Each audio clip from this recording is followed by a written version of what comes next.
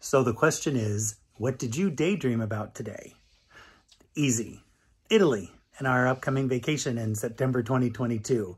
I blame Juliet for calling me and video calling and giving me the views of Italy because that's all I could think about all day because I'm super excited about going. So the answer, Italy.